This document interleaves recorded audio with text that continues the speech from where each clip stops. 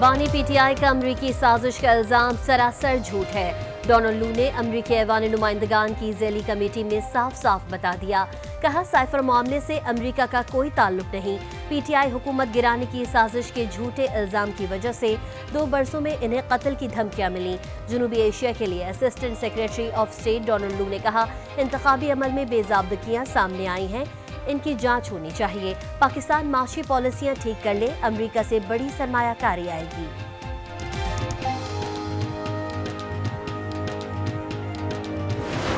बानी chairman PTI ने बकायदा जलसे में एक साइफर लहराया, कहा कि अमरीकी साजिश हुई है उनकी हुकूमत को गिराने की। कांग्रेस की कमेटी की समात, पीटीआई ने वहाँ पे लॉबिंग फर्म्स हायर करके तो वहाँ तक पहुंचाई वो समात। जिन पे इन्होंने इल्ज़ाम लगाया था, उसी डोनाल्ड लू ने आज कहा कि ये साइफर की कहानी सरासर झूठ था।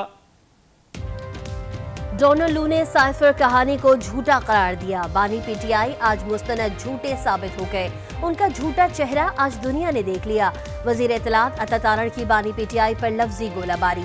कहा, बानी पीटीआई ने अमेरिका से ताल्लुकात खराब करने की कोशिश की। कुछ लोगों ने कांग्रेस की कमेटी में वावेला किया तो शोर करने वालों को बाहर निकाला गया।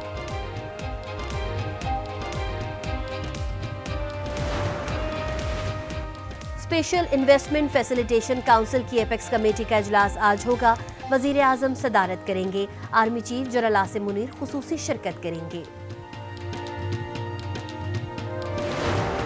पाकिस्तान की सरहदें दहशत गर्दी के खिलाफ रेड लाइन है। सरहद पार से दहशत गर्दी अब बर्दाश्त नहीं कर सकते। हमसाय मुल्क की ज़मीन दहशत गर्दी के लिए इस्तेमाल होगी तो ये नाकाबले कबूल है। वज़ीर अजम शहबाज शरीफ ने वाजे कर दिया हमसाया ममालिक को दहशत गर्दी के खात्मे के लिए मिलकर काम करने की दावत।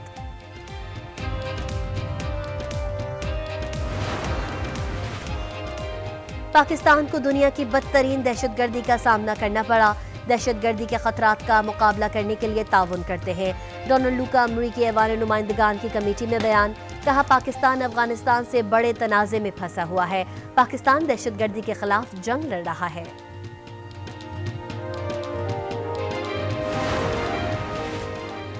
दहशत गर्दी के खिलाफ जंग में नेक्टा को फ्रंट फुट पर लड़ाने का फैसला। नेशनल एक्शन प्लान पर मुकम्मल अमल दरामद किया जाए।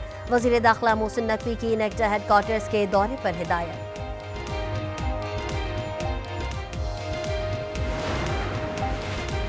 आईएमएफ से इकतदी जायजा मुजाकर कामयाब स्टाफ लेवल मुआदा तय अलामिया जारी, पाकिस्तान को एक अरब दस करोड़ डॉलर मिलेंगे।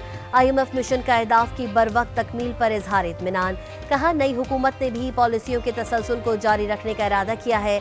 स्टाफ लेवल मुआदे की हतमी मंजूरी I M F executive board अप्रैल में देगा।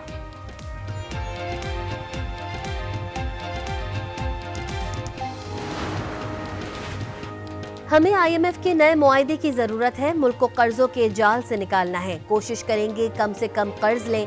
वज़ीर आज़म शहबाज शरीफ के वफाकी काबीना अजलास में गुफ्तु कहा, हुकूमत के शहाना अखराज में कमी लाजमी है। मिसाक मीशत के साथ हमें यकजहती का चार्टर भी पेश करना चाहिए। वज़ीर आज़म समेत काबीना अरकान का रजा कराना तौर पर तनख्वाहें और मरात ना लेने का फैसला।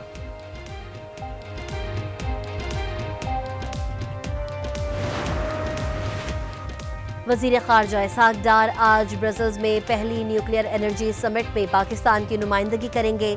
लंदन में पाकिस्तान हाई कमीशन में खिताब में वज़ीर खारजा ने कहा इकतदी सफारतकारी पाकिस्तान को मज़बूत करेगी।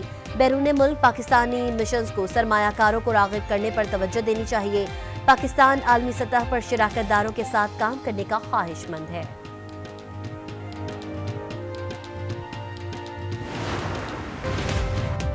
माह मुबारक में भी मुँह ज़ोर महँगाई शहर शहर आवाम की दुहाई, फल और सब्जियों के दाम कम ना हो सके। शहरी कहते हैं, हर चीज़ महँगी है, कोई पूछने वाला नहीं। जस्टिस मज़ाहिर नकवी की बरतरफी का नोटिफिकेशन जारी। सदर मुमलिकत की मंजूरी से मज़ाहिर नकवी के बतौर जज मुस्ताफ़ी होने का नोटिफिकेशन भी वापस ले लिया गया। सुप्रीम जुडिशल काउंसिल ने बरतरफ करने की सिफारिश की थी। सेनेट इंतबात कागजात नामजदगी मंजूर या मुस्तरद होने का सिलसिला जारी मुराद सईद आज़म सवाती जुल्फी बुखारी और सनम जावेद के कागजात नामजदगी मुस्तरद फैसल जावेद नूरुल हक कादरी अजहर बिशवानी के मंजूर स्क्रूटनी के बाद फहरिस्त जारी उम्मीदवार 21 मार्च तक इलेक्शन कमीशन के फैसले के खिलाफ एपलेट ट्रिब्यूनल से रुजू कर सकते हैं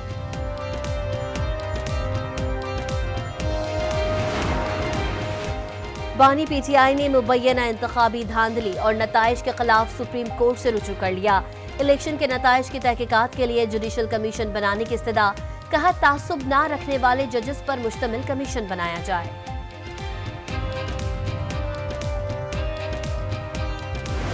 तो सारे मैंने टीम मैं पूरे सूबे को आखदा फाकू यादा पिया खुदा तरह मनो एक गाल के मैं उकरा ना करे मैं तो फिर रिश्वत मंगदा पिया सिर पड़े हैं सिर मरे हैं बहुत पहले वाले सिर सिर पाड़ देता मेरा ना चाहो रिश्वत खो रिश्वत मंगे मेरा ना चाहो सिर पाड़ दो आपसे कोई रिश्वत तलब करे तो उसका सर फाड़ दे। जब कोई आपसे पूछे तो मेरा नाम ले। वज़ीर अला खैबर पख्तूनख्वा अमीन गंडापुर की मंतक। कहा रिश्वत देने और लेने वाला जहन्नुमी है, ना खुद जहन्नुमी बनो, ना मुझे बनने दो। लाहौर के अवाम को उनकी दहलीज पर 10 सर्विसेज़ दी जाएँगी। शहरी बर्थ और डेथ सर्टिफिकेट समेत दीगर सर्विसेज़ अपने घर पर हासिल कर सकेंगे। वज़ीर अला पंजाब मरियम नवाज़ का ऐलान, कहा मुस्तबिल में 100 से जायद सर्विसेज़ दस्तक ऐप के ज़रिए फराहम की जाएँगी।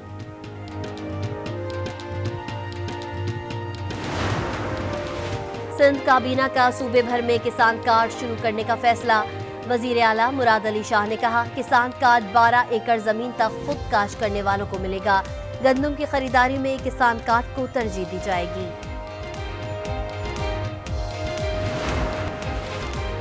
मेर कराची, मुर्तजा वहाब की अमीर जमात इस्लामी कराची, हाफिज नईम रहमान की रिहाइश का आमद हाफिज नईम की अयादत की जल्द से हथियाबी की दुआ। कहा, कराची की तामीर और तरक्की के लिए तमाम सियासी जमातों को मिलकर काम करने की ज़रूरत है।